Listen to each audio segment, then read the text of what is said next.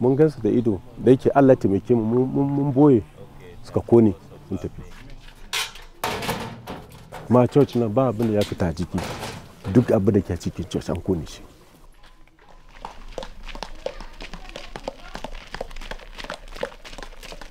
Ana ƙone gari. Masu harbi bindiga suna harbi. Nan nan zaune. Ba wuri kwance. Ba abinci It looks like scenes from a war zone. In June 2016, the small Christian village, Ninta, in the south of Kaduna State in Nigeria, was attacked by Muslim Fulani herdsmen. All the villagers fled, but now they have returned to their ransacked houses because they have nowhere else to go. Unknown to most of the world, it is Muslim Fulani herdsmen who have demolished many villages like Ninta in the so called Middle Belt states in Nigeria. Life for Christians in the north of Nigeria is tough. In 12 states, daily life is greatly organized according to Sharia law. In these states, Christians are an unwanted minority. In the northeast, moderate Muslims, but especially Christians, are victims of brutal attacks and kidnappings by Boko Haram. Christians in the Middle Belt states fall victim to a totally different danger gangs of Fulani herdsmen. It rained that night. We didn't know what was taking place until when the Fulanis came with their sophisticated weapons, surrounded the village at night. And before our people know it, they tried to run after their lives. There was uh, a casual, there was an aged man that was killed because when the children tried to run away, he was unable to go. They didn't pick him, so he was burnt into ashes. The attacks are carried out by Fulani herdsmen. These herdsmen are part of the Fula people, a people that is spread all over West Africa. One third of the Fulani are nomadic herdsmen. They do not live in settlements, but just move around with their cattle. In Nigeria alone, there are millions of Fulani herdsmen. Every year, Nigeria loses thousands of square kilometers of grazing lands to desertification. This means that there is not enough room for farmers and Fulani herdsmen to live side by side. It's only in the last six to eight years that things have got dramatically out of hand. The Fulani force their way onto farms, where their cows eat the harvest and trample what is left. Fights break out regularly. This is my house. There is no any single thing that we carry out from this house as we sit it. There are loss of life in the village, which we lost almost up to 15 people in the village. This very area, we lost us to 15 or 20 20 people. The incident that took place here, it was on 24th November. By 2 o'clock p.m., they came in mass, over 300 people. Yes, over 300 people that came here again in the village. Most all of them, every one of them is carrying AK-4, AK-47, so everybody has to run away with his life. Village after village has been affected, not all at once. The attacks are haphazard. A village here and a few months later a village there. Reliable numbers are hard to come by, but our sources talk about over 50 villages attacked in the last 12 months. Generally, it goes like this. Villagers chase a Fulani herdsman from their fields because he's ruining their harvest. Other Fulani decide to take revenge.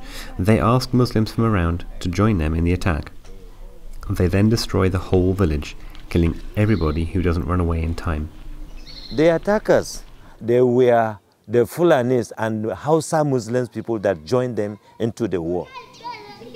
Did you know these people? Do you know where they live? Do you know who they are?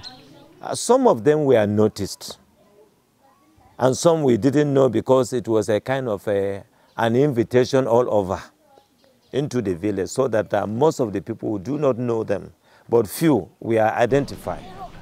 During most of the attacks, at least a few of the attackers are known to the victims, and they are reported to the police. With these people that we know them, we told the government about them, but no any action. There is no single person that has been arrested or arrested. Most of the Christians we spoke to in the Middle Belt have lost trust in the ability of the government to protect them. Government is not helping the situation, especially those in the higher affair. So at times, when they will be having these suspects, and after some times again, they will be released. Many Christian villagers told us they believe that the local government and some parts of the army are actively supporting the Fulani attackers. You see, what the uh, law enforcement are handling is not as strong as the weapons where these Fulanis are handling. Who gave them the sophisticated weapons? Anytime, if a strike is to take place, there will be a helicopter coming down and land in the bush.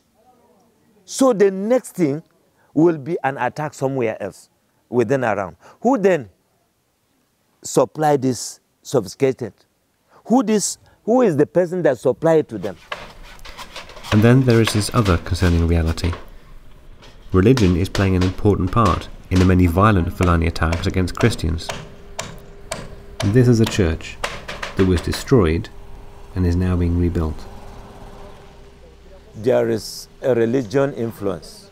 Any a Muslim house, they will never tamper with. But any house that belongs to Christian, these are the houses that they normally destroy. They attack mostly Christian, mostly Christian, where Christian dominated areas, dominated area of Christian. That is why you see they burn our churches. But there is no any mosque that burned down, but all the churches burned down. The solution that the government has offered is that local villagers give away part of their land to Fulani for grazing their cattle. But villagers are not willing to just give away their forefathers' land. These Fulani need place to rear their cattle. The government said we should give grazing areas, grazing reserve to Fulani people.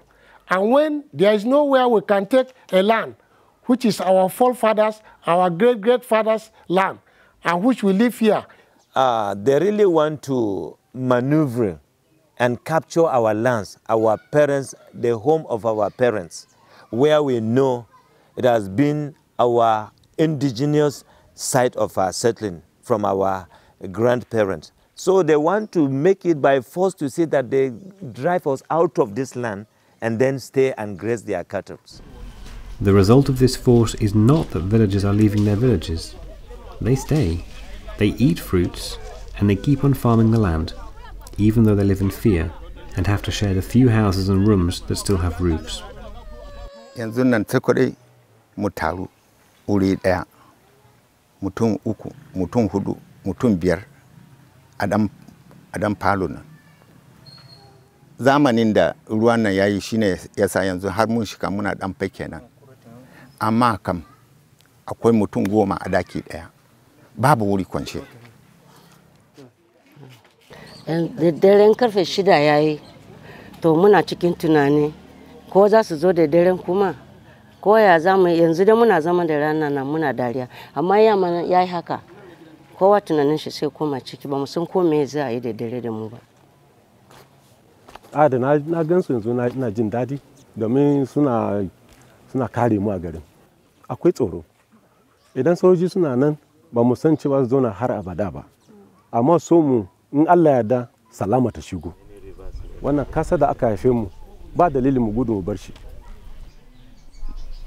A yi mana addu'a da ƙarfi kuma a taimake mu da wuraren kwance. Addu'a da kuma wuri kwance da abinci.